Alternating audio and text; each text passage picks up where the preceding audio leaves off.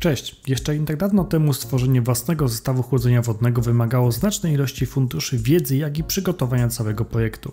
Dziś na szczęście nie mamy takiego problemu, bo producenci przygotowali dla nas gotowe, uniwersalne zestawy wodne All-in-One. Przed Wami Navis 280 ARGB od Silencium PC. Oglądajcie! Zaczynając od informacji ogólnych, w zestawie otrzymujemy aluminiową chłodnicę połączoną gumowymi przewodami z blokopompką, dwa wentylatory Sigma HP w wersji ARGB, kontroler NanoReset ARGB oraz potężny zestaw akcesoriów montażowych pozwalających na montaż we wszystkich soketach AMD, wliczając Threadrippera oraz Intela pamiętającego również soket 775. Dołączony backplate jest w pełni uniwersalny. Dodatkowo otrzymujemy również pastę termoprzewodzącą Pactum PT2. Wentylatory to znane już modele Stella HP w wersji 140 mm, posiadające podświetlenie ARGB i rozpędzające się od 800 do 1800 obrotów na minutę. Wentylatory posiadają hydrauliczne łożyska HBS oraz wysoki przepływ powietrza wynoszący aż 76 jednostek. Zestaw z zamontowanymi już wentylatorami uzyskuje rozmiar 310 mm długości, 140 mm szerokości oraz 54 mm grubości. Chłodnica posiada bardzo gęste użebrowanie oraz jest pokryta czarną matową powłoką. Do chłodnicy za pomocą sztywnych gumowych przewodów na stale przymocowany jest zintegrowany moduł pompki i bloku wodnego. Użyte przewody wodne są bardzo sztywne i posiadają metalowe sprężyny zabezpieczające przed ich nadmiernym wygięciem przy pompce oraz przy samej chłodnicy.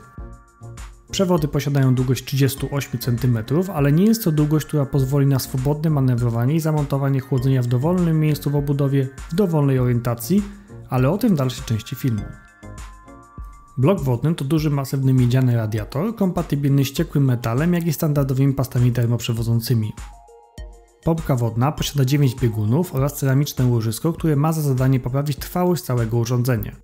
Do jej zasilenia potrzebujemy złącze SATA. Wymiary całej blokopompki to tylko 75 mm na 89 mm z uwagi na wystające przyłącze wodne na jednej ze stron zestawu. Małe wymiary sprawiają, że pojawienie się konfliktu z pamięciami RAM jest praktycznie niemożliwe. Poziom skomplikowania montażu chłodzenia jest zależny głównie od rodziny soketu procesora. Montaż chłodzenia w soketach 2066, wszystkich wersjach soketu 2011 oraz Threadripperze jest dosyć prosty. W pozostałych soketach Intela i AMD wygodniej będzie wyciągnąć płytę główną, ponieważ jednocześnie musimy przykręcić backplate, użyć dystansów i przykręcić blokopompkę z nałożoną uprzednio na procesor pastą termoprzewodzącą. Może to wymagać nie lada zdolności manualnych, więc o wiele wygodniej będzie to zrobić na zewnątrz obudowy. Osobną kwestią jest montaż chłodnicy. Sposób montażu przedstawiony na renderach był u mnie niemożliwy, ponieważ chłodnica powodowała konflikt z przewodem zasilającym procesor, a odsunięcie chłodnicy w stronę frontu obudowy powodowało nienaturalne wygięcie przewodów wodnych. Wentylator, jak i blokopompka posiada pełne podświetlenie ARGB, które może być spięte w jeden system i uzyskiwać ten sam efekt kolorystyczny.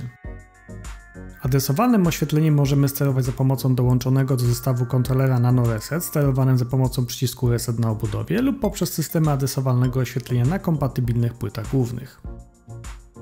Jako zestaw testowy posłuży procesor Ryzen 5 2600 w domyślnych ustawieniach z płytą główną MSI B450 Gaming Max Plus. Chłodzenie wodne pozwala utrzymywać temperaturę procesora w trybie bezczynności w okolicach 23 stopni, czyli tak naprawdę w temperaturze otoczenia, w którym znajduje się komputer. Pod obciążeniem można zauważyć znaczną różnicę pomiędzy chłodzeniami typu Tower oraz chłodzeniem standardowym typu Box. Maksymalna temperatura procesora w tym teście dla Navisa to 45,7 stopnia Celsjusza.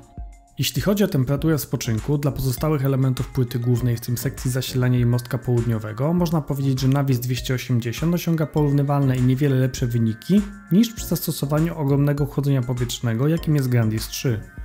Wykres temperatury w stresie, oprócz potwierdzenia wyższości wydajnościowej Navisa 280 nad resztą stawki, pokazuje również jak dużo zmienia fakt, że chłodnica, czyli najbardziej nagrzewający się element chłodzenia, jest umiejscowiona z dala od płyty głównej kwestii głośności zestaw należy do najcichszych. Dzieje się tak za sprawą blokopompki i wentylatorów, które przy prędkości około 1000 obotów na minutę zaczynają generować słyszalny szum. Mała korekcja krzywej wentylatora w BIOSie poprawia tę niedogodność.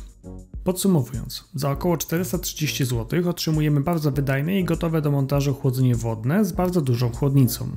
Ten zestaw chłodzenia może dedykować procesorom posiadającym co najmniej 10 lub 12 rdzeni z uwagi na jego ogromną wydajność.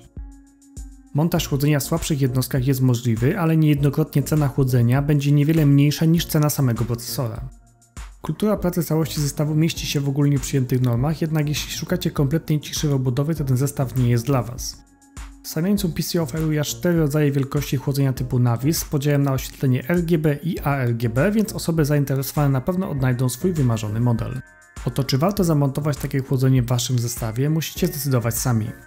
Zależy to od wielu czynników, ale na pewno od budżetu, który będzie mocno nadszarpnięty takim zakupem. Jeśli film Ci się podobał, zachęcam do pozostawienia łapki w górę i subskrybowania kanału, aby nie przegapić kolejnego filmu.